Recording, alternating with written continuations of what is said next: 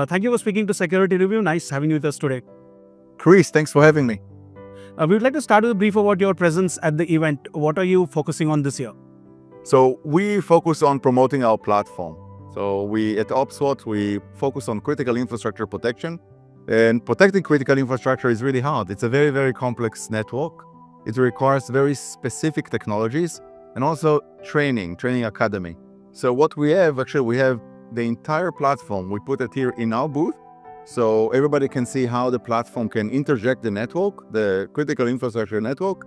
And also we are promoting our technologies and also our academy, how to train the cybersecurity professionals in critical infrastructure to have like pretty much the knowledge they need to defend against advanced cybersecurity attack and also meet compliance mandates.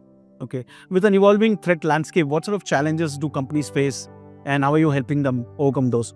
So um, we see a lot of AI-based threats. You know, AI, I mean, it's, it's whenever we, we look at AI, at cybersecurity, AI is a double-edged sword. You know, the attacker says AI, defender says AI. So which AI is going to win? Every time you're coming with a new AI model to go and prevent AI-based attacks, then a new, a new model is going to come up to going to break your model.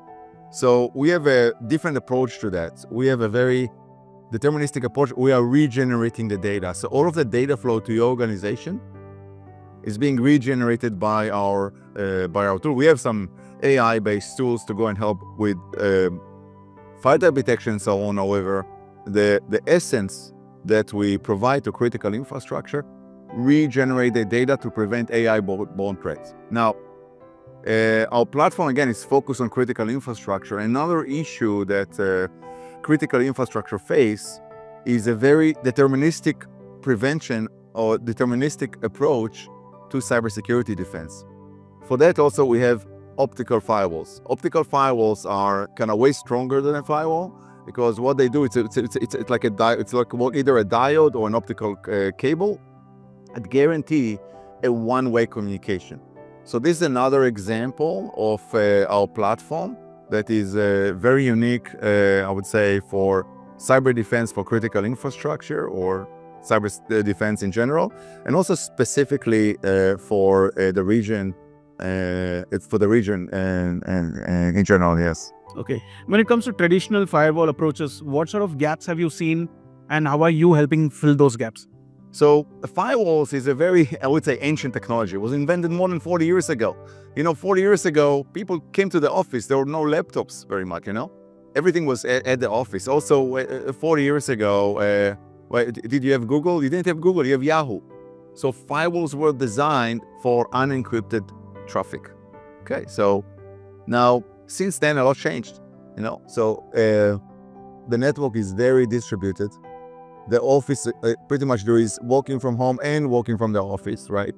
So this happened. Also, the entire network traffic uh, is encrypted now. You're not going to port 80 to go to Yahoo. You're going to port 443, HTTPS. Everything is there, and so most of your traffic is encrypted now. Some would say, yes, you can turn on encryption at firewall, so it's a very resource intensive proposition.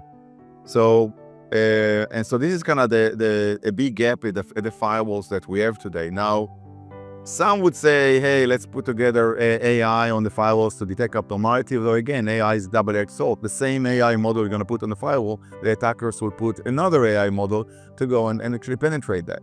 Now, there's another big issue with firewalls. There are uh, more than 3,000 vulnerabilities of firewalls, actually more than 400 on Cisco, more than 350 on Palo Alto, more than 350 on Checkpoint, and some of them are really severe. And sometimes actually to have a firewall actually is less secure than no firewall, just because of the zero days. Some of the zero days, you have an admin to the specific firewall, it's much easy to hack to the network because you have a firewall.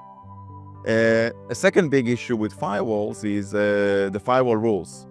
You know, the, the average amount of firewall rules for, for large organizations is more than a thousand.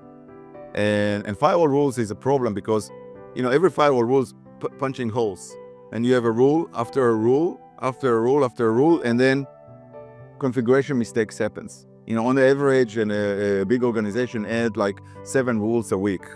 So again, a mistake is going to happen to a point that, you know, something happens. So out of, I would say, more than 3,000 uh, breaches to firewalls, uh, roughly 50% on because of firewall rules mistakes.